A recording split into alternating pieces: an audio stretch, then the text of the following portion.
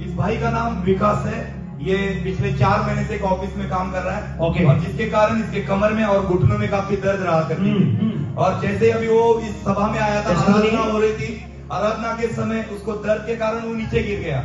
लेकिन जैसे ही अभी अपनी कमांड की पवित्र आत्मा ने उसको छुआ और अब वो अपने टेस्ट में कहते हैं कि उनके कमर का और घुटनों का दर्द पूरी तरह से जा चुका है वो चंगे हो चुके हैं।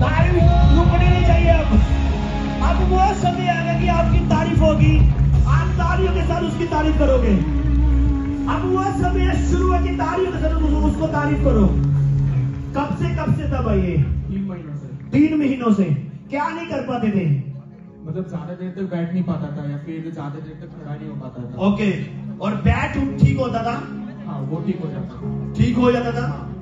और आप हाँ अभी आपको क्या फील हुआ यहाँ पे?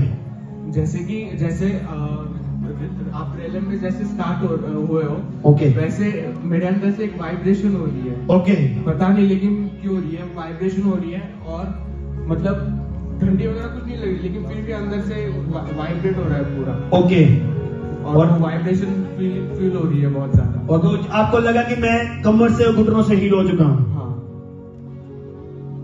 कौन है यहाँ पे? कौन है यहाँ पे?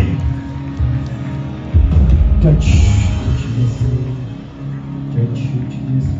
next next fast परमेश्वर के दास के द्वारा वचनों को सुनने के लिए और मसीह भजनों को सुनने और अपने आत्मिक जीवन में उन्नति करने के लिए हमारे YouTube चैनल को सब्सक्राइब करें और बेल आइकन को दबा दें ताकि चर्च की सारी अपडेशंस सबसे पहले आप तक पहुँच सके।